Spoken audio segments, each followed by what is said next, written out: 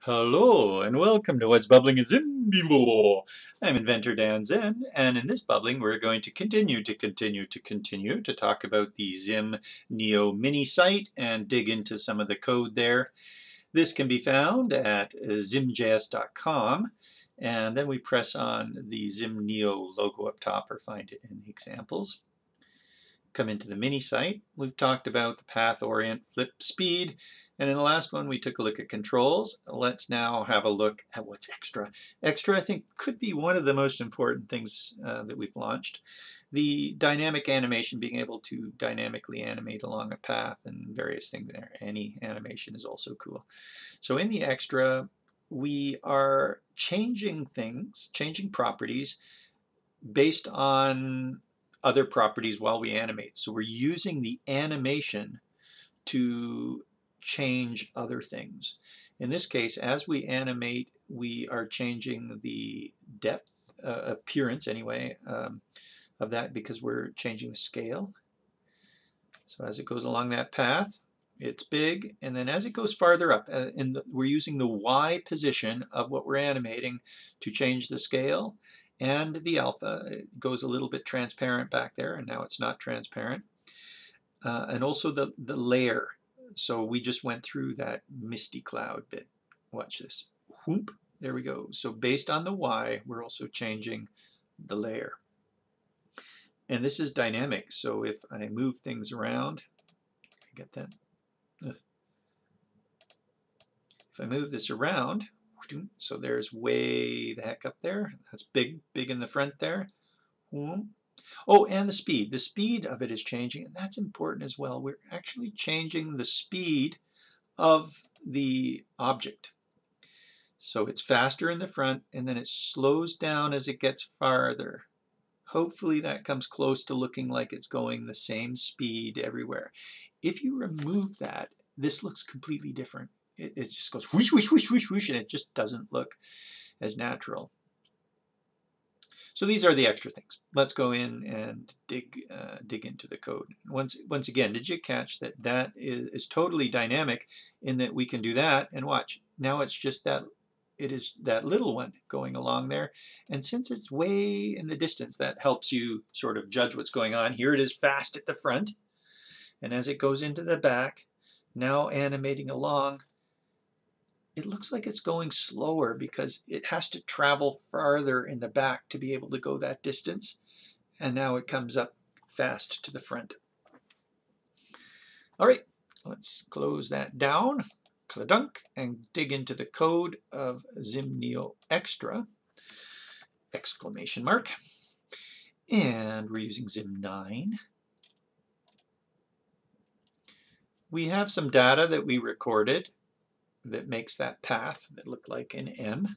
And we're passing that data into the points parameter of the squiggle to make that path. This was some of the stuff that we were doing when we were making that. The, we were recording, um, so forth.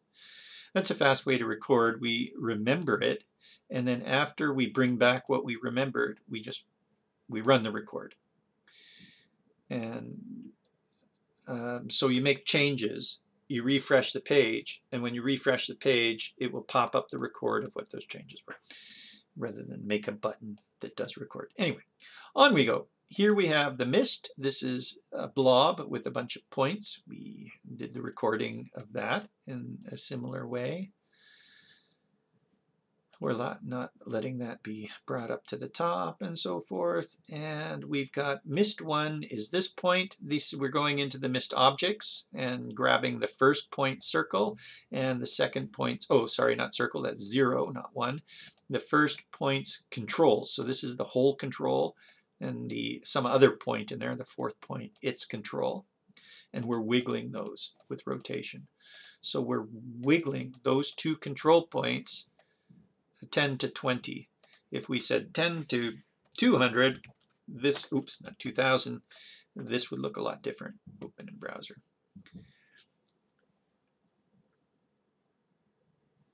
You see how now that's turned it into a whale. So those control points, too bad we can't, well, we can see the control points. If we say show control points and not allow toggling,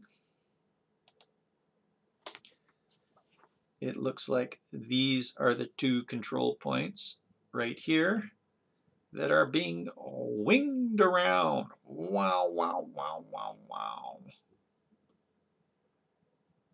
That are animating that blob. But that's another matter. By the way, in animating a blob or a squiggle, remember that this thing is a squiggle, you can animate along paths that are animated and it will work. So you could animate this path or we could animate something around this blob and as this blob is being animated it would still follow that animated path. That gives you complete sort of a free looking, moving, morphing, blobular animation path following. All right. Uh, we will turn that off. We will not animate quite as much. In other words, don't we undo? Oh, and redo the person, the uh, exclamation mark. All right, we've made blob. We're really wanting to talk about that anyway. We are updating, by the way, when you do a wiggle and you change a blob, we're changing the rotation of something in the blob, you have to manually update the mist in a ticker or something like that. So just wiggling a point of the blob will not automatically update the blob. You uh, need to call the update on it. Right, we got some colors. Why do we have colors? Oh, each time it stops, it uh, changes color. We're animating along a path, orientation, orient false. If we orient it true, it would look like this. This is path animation stuff.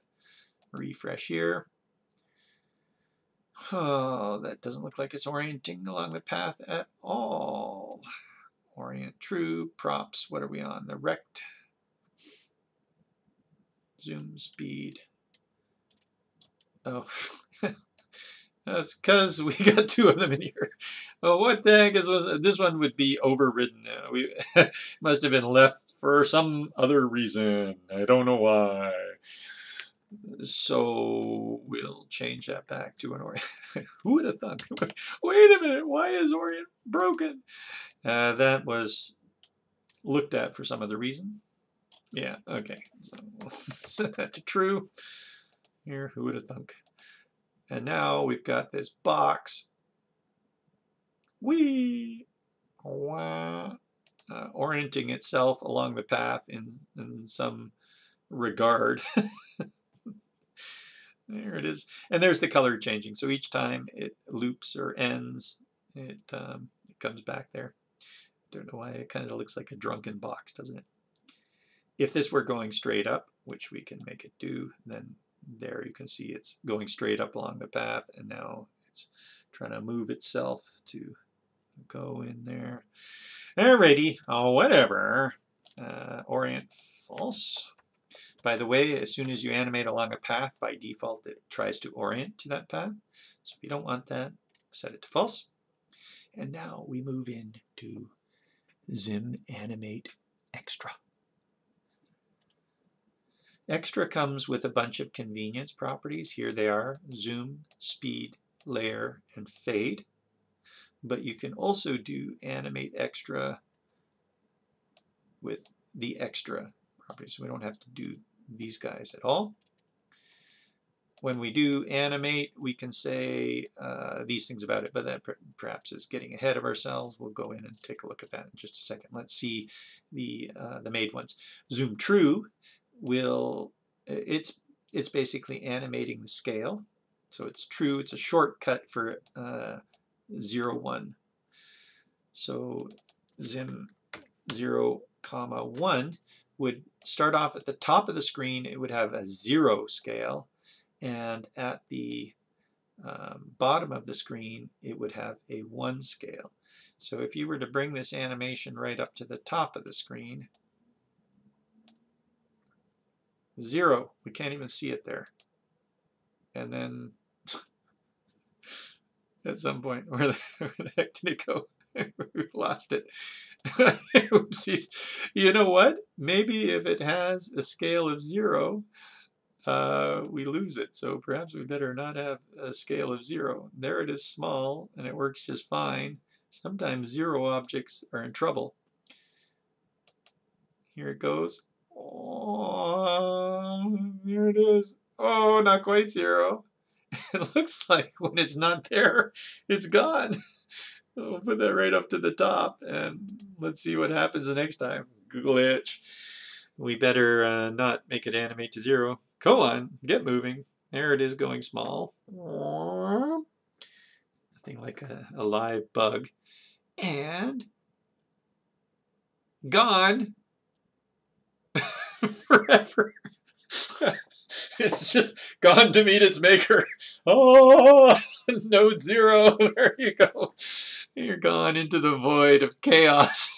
Oopsies. Anyway, so you, you don't want to do that. Interesting. Interesting. Huh. Wonder why that happened. Uh, I'll scribble down a little, hey, warning, let's figure out why if it goes to zero, it's gone. Anyway, if you want to just use the default, you can say true. So that's a fast way of using the default for the scale. Speed. Speed, we're saying start uh, at 20, and that would be up at the top. So go 20% speed at the very top of the screen, and go 100% speed at the bottom of the screen. And that happens to be short for, well, this one is also short for something else. You can pass in four things here. You can pass in the beginning, the end, and at what location and what, uh, what start location and what end location. This is clamped, by the way. So if you say at half, at 50%, oh no, that's only 50 pixels, at uh, 300 pixels, 300 pixels in the Y, well, we better do it over here. Copy that, come back here. Go 20% speed at 300 pixels in the Y go 100% speed at the stage height. And uh, maybe we'll reduce that a little bit when we go 600. So now this range will only happen in between 300 and 600. So at a height between 300 and 600 pixels, it will go uh, 20. Anything un or anything above, so above 300 pixels to zero, will still be 20. Anything below 600 will still be 100%. But in between here, we'll see a rapid speed change. So we refresh here. I don't quite know where that rapid speed change is taking place. Can you tell? I can't quite tell. That presumably is 20%, 20%, 20%, 20%, 20%. And then it gets faster. Yeah, I saw it there. So somewhere around the middle, it was fast, and now it's slow. So it's clamped, which means, but you can unclamp that. You can unclamp it down when you when you use this one. There's the factor and output round.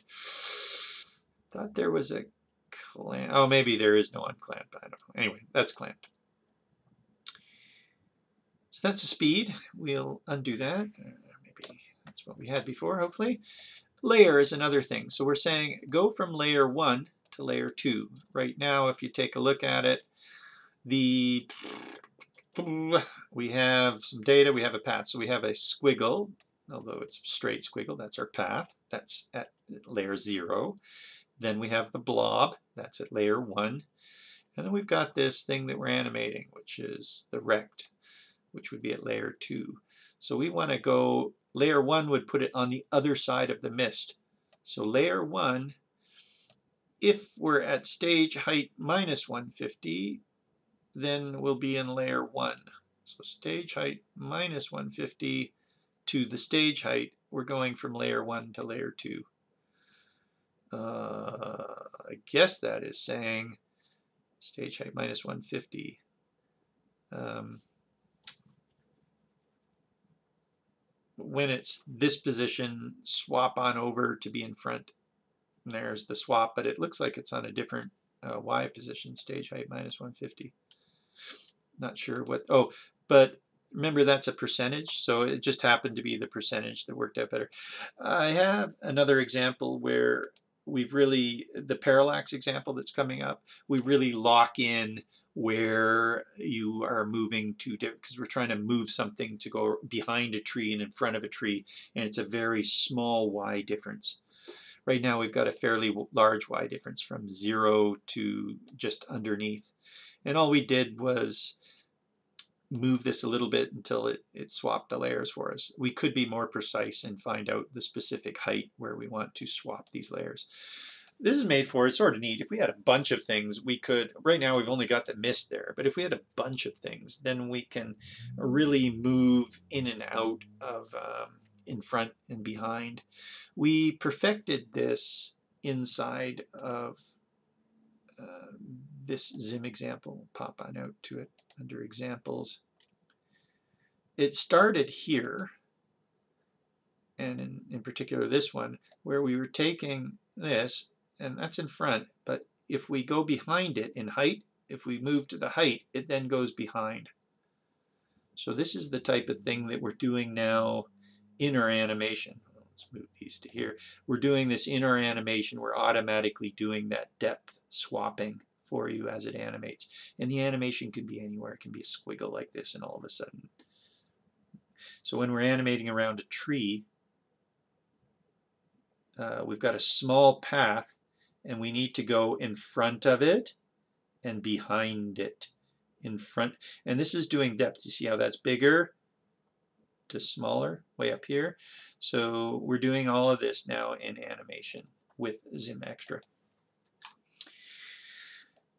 all right that's the layer stuff and the fade is the alpha so doing something similar with an alpha if we set this to zero we could make it start to look like it's completely going doop, doop, doop dupe, dupe. And did that refresh? I don't know. Refresh.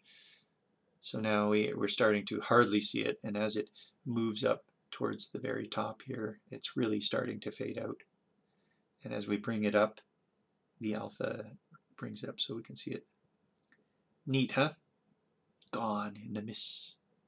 And if that's moving too fast back there for you, you can still drop the speed. So there's the speed. We could say zero and you may like that better. We tweaked this a little bit and made it so that we thought it was good. There it is moving slower at the back, coming faster to the front.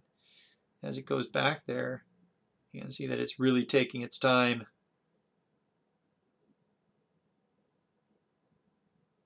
And then coming forward. Once again, that's dynamic, so we can change this path and it will be all right. So now it moves slowly all across the pack. And this works fine. Double click these things, double click and pull this kind of maneuver.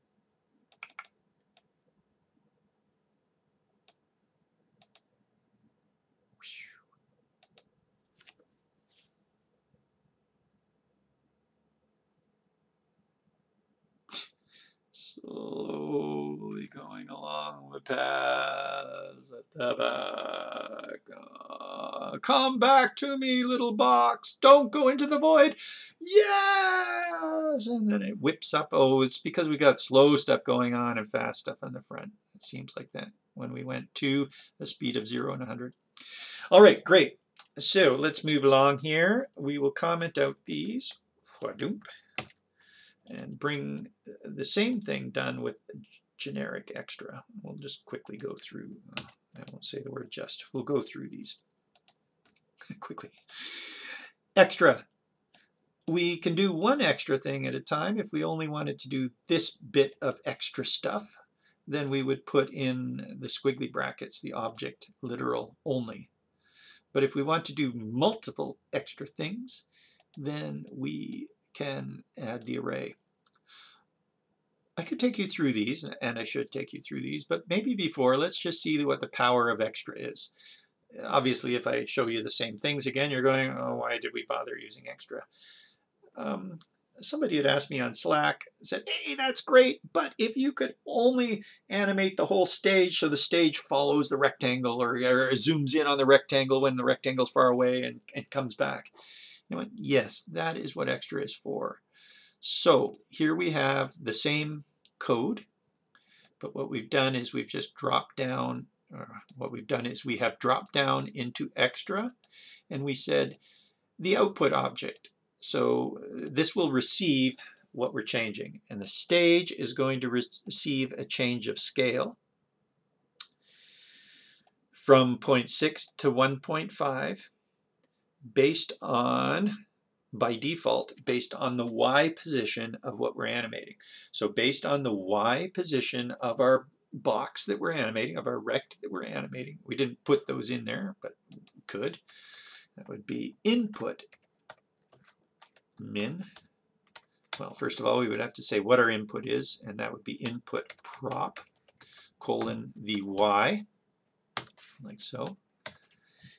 Input min colon the uh, 0, comma, I haven't typed in a while, in, I feel a little bit clunky, input max colon stage height. All of that is default. It assumes you're dealing with y, it assumes you're going from 0 to the stage height, so we don't need any of it. Oh, there would be a comma there as well. Need that. Factor means reverse it. So by adding this extra bit of animation where we're animating the stage based on something, based on our animation, our current animation, and watch what happens. We refresh, oh, we open this up, open in browser, and now as that moves back, we're changing the scale of the stage to sort of zoom in on that. Now I didn't change the position. But there we go. And look at that. As it's farther back, that whole the whole stage has scaled back. So um, closer to the bottom here on the higher number of y, we are making the scale of the stage smaller.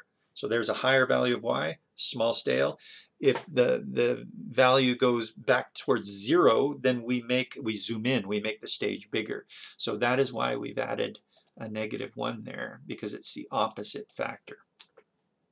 Down below is us trying out to see if we can make it make the stage follow the x position of the of the y and the x, and indeed we can. So this is the power of extra. Extra allows you to animate any other object, any other object's property based on a property that is being animated.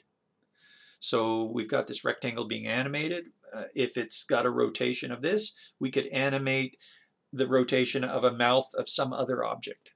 Or we could animate the scale of some other object. It also flips the other way. We can animate we can change any property of what we're animating to match a property of something else.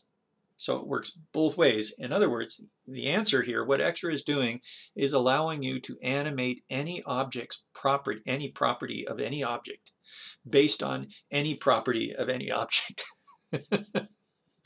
wow. And that's all tied in with, um, with Zim Animate. Neato, Mosquito,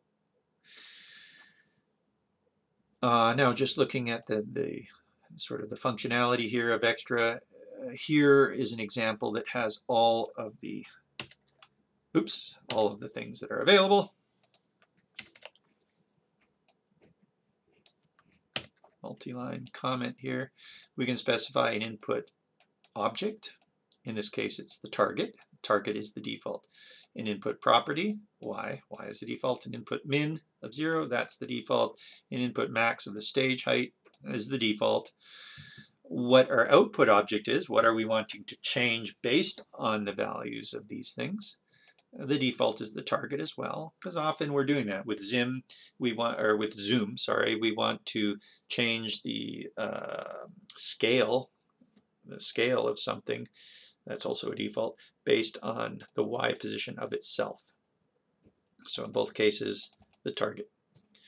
And then the output uh, mins and output maxes, a factor, and whether we want that to be rounded to numbers so that we could control things like you know, frames in a sprite or something like that. What this really is, is Zim proportion.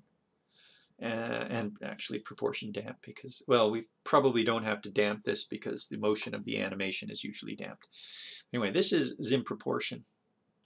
And that's a class that maps one thing to another. And we're turning that on here in an array format so that we can map a whole bunch of different things uh, based on this animation. Neat. We did this as well. Uh, can you think of another time when this might be useful? The answer is, I can't even see how to get back. By the way, all that's interactive. You could drag that and and it would start zooming in on what you're dragging and not. So remember how we're dragging along a path at times? Oh, oh, we haven't seen that yet. Dragging's coming up. We're just an extra. But parallax. Parallax, this motion that we're seeing here, and we're going to take a look at this. When there's that animating around the tree and the depth. But parallax itself, moving things in, in different directions, is also a matter of proportion based on where the mouse is along the x. We're moving these in different amounts or where it is on the y or freeform. So parallax is already just a system that takes these proportion things and organizes them all into one kind of thing, you know, one parallax object that you can add layers. Really, you're just adding uh, Zim proportions to that, proportion damps in this case. So that's what parallax is. And now we've added that whole system into uh, the animation as well and called that Zim Extra. Wow. So uh, back here, we were taking a look at Extra, Parallax, and I think maybe even Drag both use extra as well. Both use that. Uh, if we take a quick peek at drag, you see how this is getting bigger as it comes forward. That is also looking at it. So we'll get another chance to see it when we look into the next bubbling here at uh, What's Bubbling is. I'm inventor Dan Zen, and hopefully that was a fun tour of um, just something that opens up animation and controls to uh, the infinite in a sense here Zim. Come on by, zimjs.com. Come on in and talk to us, zimjs.com slash slack. Whole bunch of really nice people all chatting. Slack uh, is, is free, fun. You should learn how to use Slack if you haven't yet. It's a community, uh, but more like an intranet. we used to call them intranets. Uh, an internal forum uh, for, in this case, talking about Zim and coding interactivity with the JavaScript canvas. Ciao. Have a great day or night. Bye.